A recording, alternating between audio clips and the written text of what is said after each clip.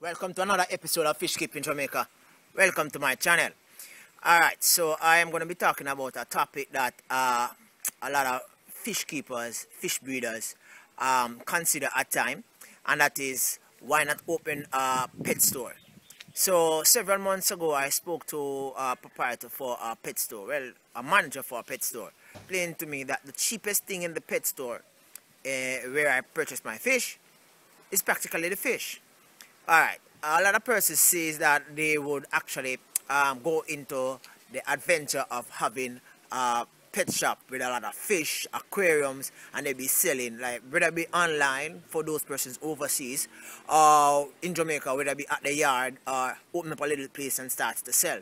While you actually breed the fish at the back of a yard or a big property, and you actually sell um, somewhere else. Now, here's the drawback with that. Now, whenever you have a fish farm, and let's say you're going to start a, um, a business in the sense that you're going to be um, selling these fish you which to actually keep, you're going to find a lot of limitation.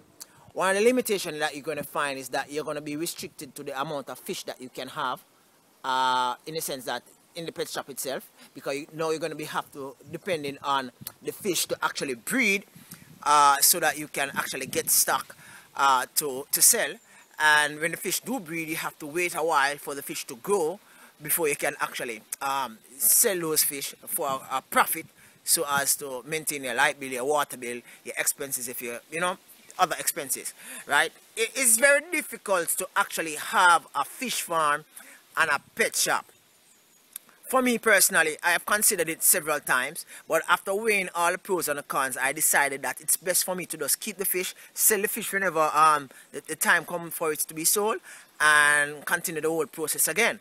For example, goldfish. Goldfish in Jamaica, well, for me, I don't know about anybody else, but goldfish in Jamaica is best bred between uh, the about December, between December and February, right?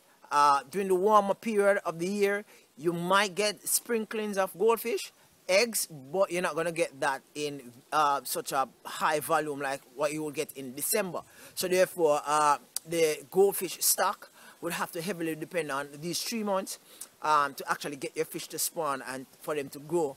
So therefore, they will all mature at the same time. So therefore, you will uh, actually, you know, persons tend to persistent to like goldfish in Jamaica. So more than likely your goldfish stock will be depleted uh, before the end of the year or uh, with, probably within two months, right? So therefore you'll be out of goldfish and uh, you'll have to probably source goldfish elsewhere to suit uh, the, the customer's demand. Now, in my in, in my in my thinking, right, I believe that uh, if you're gonna have a pet shop uh, you have to look at more than just fish. You're gonna have to look at uh, you're gonna have to look at medication. You're gonna look at, uh, have to look at the little details that go with the aquarium itself. You're gonna have to look at aquarium. You're gonna have, have filtration system, the different types, and and they are not cheap, right? As it said in earlier on in the video, uh, the, early, the, the cheapest thing within the pet shop is the fish itself, right? When you talk about a canister filter, in Jamaica, prices are about between twenty-five to thirty thousand dollars for one. And let's say you open a pet shop, uh, you would probably need about six of them to start. Uh, that's six times thirty. Uh, that's a good amount of money, right? That's three six or eighteen. That's one hundred and eighty thousand dollars just for canister filter alone. Plus, you're gonna actually um, build a few aquariums, which is gonna cost you some amount of money. So therefore, the stock itself is gonna be a, a, a the costing is going to be a lot, right? Um, breeding the fish and selling the fish. Whilst you might sell a fish for $400 and go back to the pet shop and see it being sold for uh, $800, that's just the way of life, right? Uh, if you do have a large fish farm and you have a little outlet in which you sell your fish, uh, you will probably might see a little bit more profit. However, that profit is going to be dwindled down uh, when it comes down to your expense because now you're going to have a little bit more expense, right? So it, to me, it doesn't really uh, match up, right? It's either one or the other. And that's one of the reasons why I do not have uh, an outlet in which I actually say, right, listen, I'm going to be selling fish, and this is what fish I have. Uh, I cannot breed all the different type of fish that persons actually demand. So therefore, uh, my fish stock within, let's say that I have a fish store, right?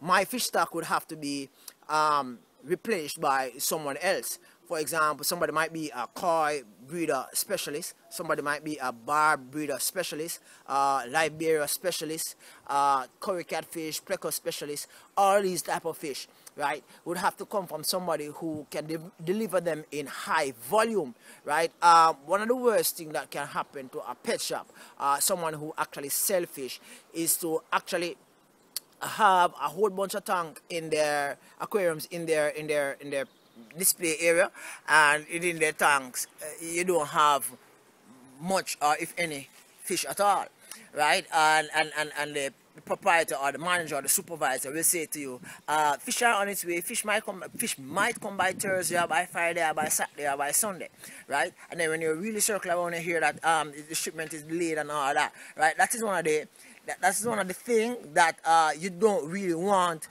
within your business right so uh, actually considering both uh, having a, a, fish farm versus having a, a, a, pet shop. Some persons might say that, but such and such do it, right? Not even Segrest farms actually uh, breed all the fish in which it actually sells to the public, right? A lot of the fish that comes to Segrest are imported. Yes, they do breed some of the fish, however, a lot of the fish, a high volume of the fish in which they actually sell to different sections of the world and, and you know, in, in the States itself, uh, origin from other fish breeders elsewhere, right? Thus, strengthen the argument that having a fish farm and having a pet shop together as one is a strenuous activity, uh, one in which I, I, I wouldn't advise to do that, right? Um, so these are these are just wise words coming from someone who have actually um, delved in the business a little bit, uh, you know, for for a couple years, and I've understand the game in the sense that how you actually trade fish in Jamaica, um, but I've not gone out to say I'm going to start. Persons might come to me and say, hey, I want three or four or six goldfish, I want two koi, I want X amount, and I do sell them, right? And when they sell, when I sell them, and they look at the price in which I sell them for, they go to the pet shop and look at what the pet shop is selling, and say, "Wow, you're you're, you're cheap, man." But that's just how the game is played, right? Um, thank you very much for stopping by. Uh, remember to subscribe, share, like, and follow me on Instagram at Fishkeeping Jamaica. Thank you very much for stopping by. Have a wonderful day. Going back to some work now. Enough work. Moving around a lot of fish so to accommodate new fries. Bye.